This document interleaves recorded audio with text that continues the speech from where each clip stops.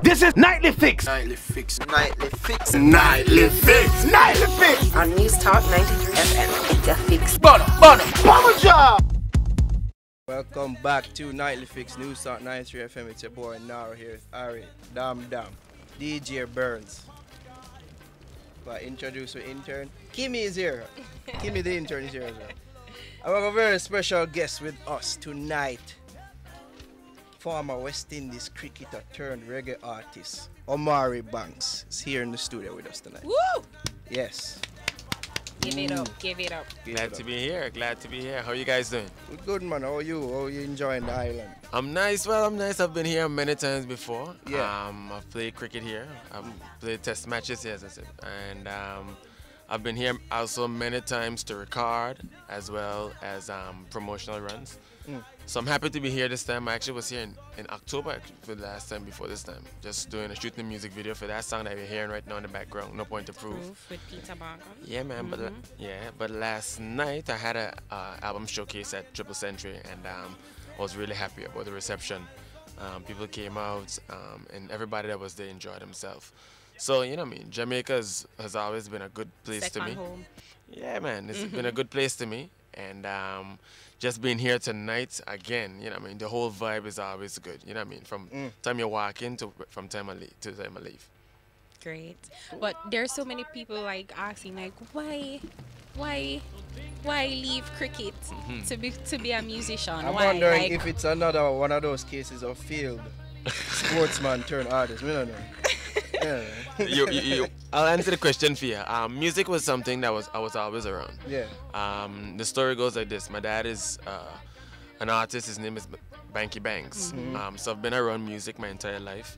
Um, even before I started to play cricket, um, my earliest rem- memories um, was having instruments in the house, performing on stage in Italy, Italy with my dad from the age of five years old, doing the whole talent show thing, uh, and I did that from from seven years until 16 years. So, um, when I first when I finished high school, my first job after finishing high school actually was entertaining, going to different hotels by myself, playing the guitar. wow. Um, so music was something that was always around. Um, it's always hard, it's hard for me to mention my music without even mentioning my dad as well.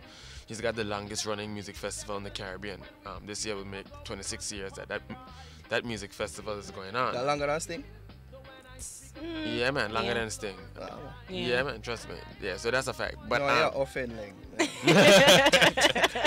but yeah, but um, yeah. So I mean, to some put it in a nutshell, I've seen all of the big, the major acts in reggae music come to Anguilla.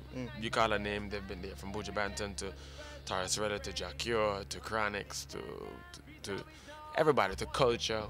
I mean, everybody's been there, and I've seen um, musicians come inside and outside of my house.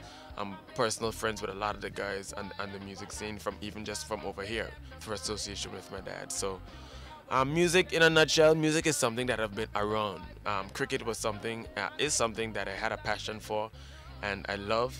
And um, but I've always been the kind of person to follow my passions, and my two passions has always been music and sports. So that So was you always the fortunate plan? enough. It wasn't. I can't say it was always the plan. Um, it was always a passion. When I was focused, when I was playing cricket, I was totally focused on that. And to be honest, when I was playing cricket, I never had the thought that hey, I'm gonna retire and I'm gonna do music until maybe until I decided to hey to, to do it. Um, when I was playing sport, and I think when you're playing sport, especially such a competitive field, you can't have the idea that okay, I'm gonna play and yo, I'm gonna quit at this time or whatever. You have to be playing like you're all in. Um, without that attitude, um, it's gonna be very hard for you to really excel because sport is, is one where there's so many ups, downs. Yeah, no, Yeah. everybody There's some- blessed like Michael Jordan can put it down and go do something else and then pick it back up, yeah? Um. Yeah. Yeah. And yeah. Yeah. But just even but whatever sport, whoever you are, even Michael Jordan, um, Kobe Bryant, you have your ups and downs in sports. So, True. so it's important to understand that when you have your downs, you, you can't be ready to just cap out one time. But So- what was the catalyst though? Like what like what was the moment that you say, you know what, I'm going to really pick up the music now? If I if I was to be honest with myself, um, as I said before, I played professionally from 18, um, played for West Indies at 20. Um, in 2007, 2008, I went to England and played two years professionally over there for Somerset. Um, came back to the Caribbean um, in 2009, 2010, and um, represented Leeward Islands. Um, I was a leading run scorer and leading wicket taker for my um, professional team in the Caribbean, um, and was the best all-around in the entire Caribbean. I didn't get selected for A team, which had already played for the, the international team, West Indies team. And um, when I got back to the Leeward Islands, and you know, I mean, it's well documented in sports where, especially in West Indies cricket, there's so much politics around it.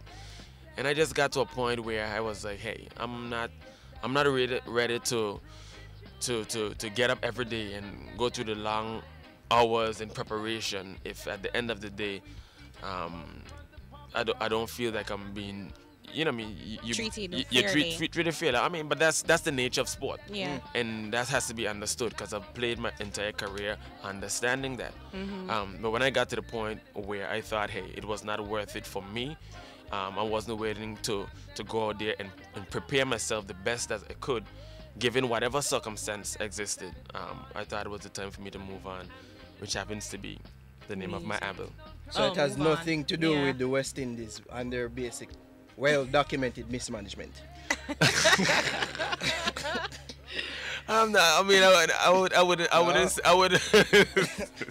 you put me on the spot, man. No, but no, but no. I mean, I, I wouldn't blame anyone, anybody. I mean, it, I, I like to to take responsibility for my actions. Um, as I mentioned before, um, outside forces can play a role, but I think as in the, the nature of sports is that there's no guarantees. Uh, nature of life is that there are no guarantees. Yeah, because you said that you know you, you prepare. You say that you know to the point of you preparing and then end up probably not getting what you wanted. Like you think that you prepare in in the music industry, reggae, you know, and then probably you don't get the success that you want. You you this isn't it the same thing though? It is this, it is the same thing, but um, but I think I learned a lot from sport, a Yeah. lot, and True, sports is Yes, is sport- teacher for life, you know. Yeah. I'm telling you. I mean, not that I didn't understand that. Yeah.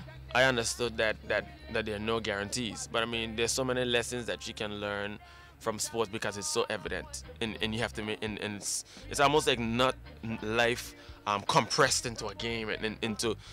And, you know what I mean? Into, Yeah. into one game, because with, within the, the, the, the course of one game, you're gonna be up, you're gonna be down, you're gonna be this, and, and it's how you respond to that. Yeah. And um, when I'm when I'm doing my, my, my music now, um, I've, I've tried to take over all the principles and, and lessons that I've learned from that. Where whether it is okay, when I'm on a gig or whether I'm I'm preparing for something and it doesn't go right, I'm always thinking, what's the solution to the problem, as opposed to thinking about okay, there's a big problem. Oh shoot, what am I gonna do? But I'm always looking for solutions, and um, trying to come out the better side of it. I get up every day, try to be better at what I do. Um, I'm actually very um I don't want to say anal, but I mean I'm very, Ah, why? Well, psychology people know that you know means that you're very detail oriented. Yeah. Yes. Yeah. Yeah, yes, well, I mean I'm I'm we have some base listeners. Yeah. yeah. but yeah, I'm I'm I'm actually the same way with my my my music that the way I was with my cricket. um, Yeah, because I read like in the bio you're, you do the in like you see the engineering from the mu- the writing, the producing. So you're very very involved in the music. But um on the the no point to prove with Peetah, like I feel like this is some sort of you you wrote this as a way like to. Is this like uh, Yeah. to the cricket? Yeah, yeah, is it, it? it, it, it is. It, it is. I'll tell you what. I mean, if you listen to my entire album, hopefully, um, you you'll get that before I leave. Yeah. Um, the title track of my album is "Move On," and Yeah. I'll start from there. Um, I think it's it was Poignant. yeah. Well, yes. Uh, when I decided to to move on. yeah. Um, if you listen to the album, major the entire album is really it's inspirational. It's a song album of inspiration, as well as there are some songs with social commentary, as well as songs with really speaking about relationships. But basically, the whole album is, uh, the sound that I've written up to date has always been wholesome. Don't look back on what you could have done. Just move on. Just but learn you champion. No point to prove now is a song with a little bit more of an edge, and I wanted to do that. And um, I think it's there's no human being and no person that can really live their life and um, not have a time when you feel that you need to release. Uh, just True. say exactly. I Just Say what you mean. scream. I and just say, hey, this I'm, I've had enough. Yeah. And um, No Point to Prove is one of those kind of songs. Um, because I think at, at some point in time, you just need to do that. It's important for your sanity as a psychologist. You should get what I'm saying. yeah. um, you need a release point, and um, No Point to Prove really is a statement. It's a release. And I think it was who better an artist to do that with somebody who I respected so much, likes Yeah. of Peetah Morgan, who's um, vocally one of the best in, in, in the field, as well as um, I've, I've watched him perform on many occasions. He captures the stage like like like um, like none other, and so I think it was the perfect collaboration. And the song for me was one that's really close to my heart, one where um, I make references to cricket. I never I said um, I could never forget 2006 when me and some Shaka Dan used to lick them for 6 But no, no matter what you do, them still criticize. Even 2003 when I was soaring in the sky. You know what I mean? So I make throughout I'm in the six with six. Yeah. I know creative. but um, yeah, I mean, it was it was. I mean, my music is really about a story. Is me storytelling, Expressing yourself. expressing yeah. myself, yeah, but me storytelling as well as me, yeah, storytelling, sto- telling my story, and as well as telling stories that I think are familiar, and um, So telling the- my opinion. So move on is really just therapeutic, and the point, no point to prove was just a release, a therapeutic release for, for the things that you went through. Easy, Yeah. the psychologist. yeah, Easy. yeah, exactly. Yeah. yeah for the most part but um it's it's it's fun doing that actually because i mean because i believe even wh- when we write um and i think one of the advantages one of the good things what which i've um found out so far is what people like about my music and my songwriting is that I've, I've never been afraid to say what I, how I feel. So if I feel sad, if I feel bad, I mean, I, not like I'm a little weakly ready to cry right now, but I think it's important as a songwriter that you you're not afraid You to capture get every emotion, right? not yeah. afraid to get inside yourself because people even though they may not they may not say it they feel that way and they have a greater connection with what you're saying if you say it for them Yeah. so everybody would feel oh i need to move on learn your everybody wants to be told they're a champion Yeah. uh, you may not want to tell nobody that or whatever but you want to feel that Yeah. you want to feel that that sense of strength um, to help you to move forward um, and move on and no point to prove are, are songs where you can you can listen to the lyrics and feel inspired to do something greater Okay. And yeah, I said at 11. Like, what, what, what's the point and what's the meaning of 11? um, 11 was my jersey number when I played sport. Mm-hmm. Um, I understand and, and I'm, I'm aware that whatever I do, even after That's your name. First of all, sorry, is the name of your band, right? It's Yeah. the name of my band as well as what's the jersey number when I played sport. Yeah. And I thought that when I decided to move on, Mm-hmm. I would carry that with me forward. Um, it's important to to make the the, the association for me um, because I've learned so much from that and understand that um, it's not something that I should be ashamed of because I was re- I'm proud of, of my achievements as a cricketer. Yeah. Um, and it's something where And you did much because you were the first Anguillan. That's what you're a history maker. So yeah. first and only to date. Yeah. and it's so small. Like I was talking to you off air that Anguilla is so small you can travel the entire island in an hour and a half. People, that's 90 minutes to travel an entire island. I, I think that's that that would that would be a long time. that would be a long no, time. but I mean, no, an hour and a half though. That's like what? Okay, here what? What's the speed limit in Jamaica? It No, but let's- that- that they don't. Let's say average 70. Okay, Anguilla is 16 miles long. So you tell me how long you could drive from one Oh, end to the oh next. Well, I I'm don't a big math. maths person, Yeah, we don't do math. but Anyway, we we know see, that's we right. see you have a guitar here. You want to play a little something? Yeah, man, I'll give Play you a way song. out there. Before you do so, tell people where they can follow you Mhm. and, And where they keep can up get with the Omari. Banks and all these Yeah. But first, you can get me on the web anywhere. My webpage is www.omaribanks.com. Mm-hmm. I'm on Instagram. Follow The me. gram will do. Um, Omari Banks 11 is my name. I'm on Twitter. It's Omari Banks 11 as well.